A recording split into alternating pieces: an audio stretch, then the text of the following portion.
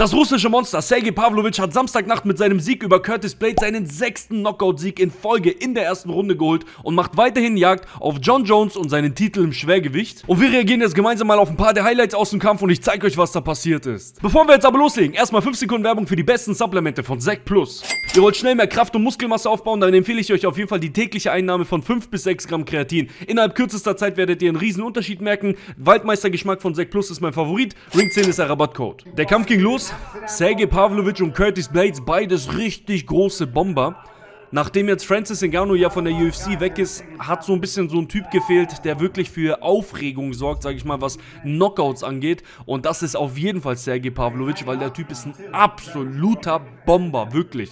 Sergei Pavlovich hat besondere Power im Schwergewicht. Und man sieht es auch direkt schon, die ersten zwei Hände gegen den Kopf von Curtis Blades haben ihn die De Deckung geöffnet und ihn, ja, hier ordentlich wachsam gemacht. Aber Curtis Blades kommt selber direkt mit einer harten Hand zurück. Der Kampf ging nicht lange, aber während er gehalten hat, war der sehr, sehr spannend. Schöner Konter hier von Curtis Blades direkt an das Kind von Sergei Pavlovich. Ja, der hat es auch gut weggesteckt. Hier erneut der Konter, aber Pavlovich bleibt stehen. Erst eine Minute vergangen und beide haben sich schon solche Power Punches gegeben. Die müssten jetzt schon wahrscheinlich safe Kopfschmerzen haben.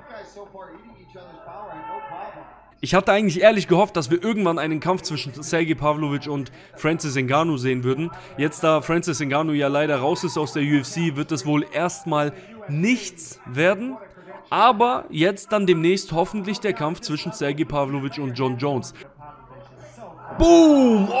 Oh, die rechte direkt hinten, hinten an den Kopf seitlich bringt Curtis Blades fast zu Boden. Ja, da war er schon extrem am Wackeln. Oh, Sergei Pavlovich lauert. Erwischt ihn jetzt hier gerade mit einem guten kurzen Jab direkt durch die Mitte hindurch. Curtis Bates ist am Wackeln. Sergei Pavlovich entlädt die ganzen Schläge auf ihn, aber er schafft es jetzt hier gerade noch rauszukommen. Aber gut verteidigt. Wieder der Jab durch die Mitte. Curtis Blades schon richtig müde. Das kommt davon, dass er angeschlagen wurde.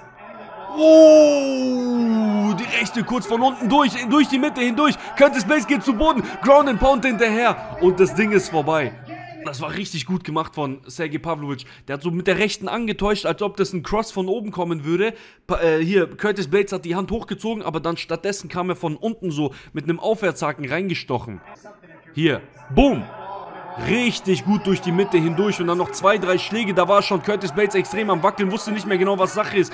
Geht hier gerade schon auf alle Viere und kassiert dann nochmal so drei, vier richtig monströse Hände von diesem Typen, bevor es dann komplett zu Ende war. Ich will auch mal kurz die Slow-Motion-Wiederholung davon sehen. Boom! Die rechte hat ihn schon dann zum Boden gebracht. Hier direkt danach. Schaut mal. Das hat alles losgelöst. Und diese rechte, die man jetzt hier gleich... Boom! Die hat man leider nicht hinter der Schulter von ihm gesehen, aber die war das, die den Schaden, wirklichen Schaden angerichtet hat. Und dann klammert er sich noch schnell an dem Bein von, seinem, von dem Referee, weil er denkt, das ist vielleicht Sergei Pavlovic und dass er sich damit irgendwie retten kann. Sechster Knockout in Folge und das in der ersten Runde. 18 zu 1 seine Statistik aktuell. Also wirklich ein Typ, den man ernst nehmen muss. John Jones kämpft jetzt als nächstes gegen Stipe Miocic und danach gehe ich davon aus, dass es diesen Kampf geben wird. John Jones gegen Pavlovic. Ich gehe davon aus, dass John Jones gegen Stipe Miocic gewinnen wird, deswegen rede ich jetzt schon von diesem Matchup. Ne?